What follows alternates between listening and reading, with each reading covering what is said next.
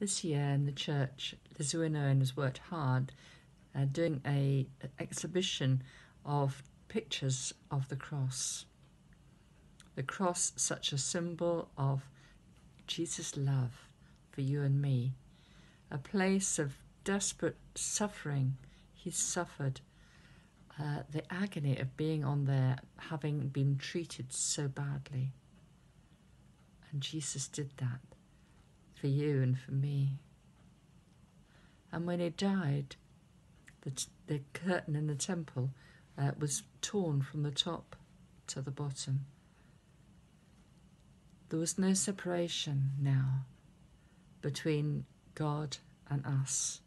We could come into Father God's presence. We can do that now. We can come and have relationship with Jesus and Holy Spirit and Father God. And that's what e- an Easter is a, a, a completion of that. Jesus overcoming death. He became alive again, and he's alive now for relationship with you and me. Ah, wonderful, wonderful. Let's enjoy.